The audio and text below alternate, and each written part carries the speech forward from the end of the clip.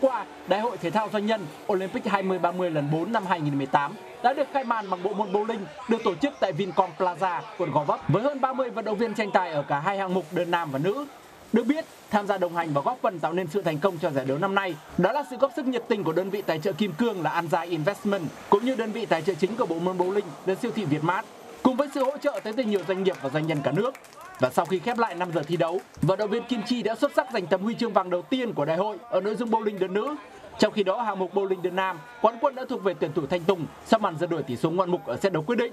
Qua đó, giải đấu này không chỉ là nơi mọi người có dịp thử sức tranh tài cùng nhau, mà còn mang lại cơ hội gặp gỡ, chia sẻ và gắn kết nhau hơn trong cộng đồng các doanh nghiệp. Xin chào, mình là Nguyễn Quốc Việt, à, hiện là chủ của siêu thị à, Mini Việt Vietmart. À, thì à, môn bộ bộ môn bowling năm nay là được tổ chức à, lần thứ tư trong giải Olympic à, doanh nhân 2030. Thì à, năm nay thì cơ chế thi đấu à, mình có thay đổi chút đỉnh à, và sẽ có những à, vận động viên cho dù à, năm ngoái đã đạt chức thì năm nay thi đấu với cơ cấu giải thưởng và thể lệ thi đấu hoàn toàn khác năm ngoái nên à, và chưa chắc là sẽ đoạt giải giống năm ngoái. À, thì thì ra năm nay mà giải mình có một cái giải là à, dành cho vận động viên đánh đẹp và có số điểm cao nhất ở vòng bán. Xin chào, tôi tên là Dương Thị Kim Chi.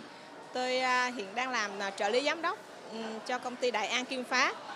À, ờ, đây là lần đầu tiên tôi đến tham gia chương trình à, thể thao ngày hôm nay à, do câu lạc bộ doanh nhân 2020 tổ chức. Thì à, trước khi bước đến à, chương ừ, cái à, cuộc thi ngày hôm nay thì rất là hồi hộp. Bởi vì à, chưa biết mọi thứ nó sẽ diễn ra như thế nào bởi vì mình hồi nào giờ rất là ít chơi bowling.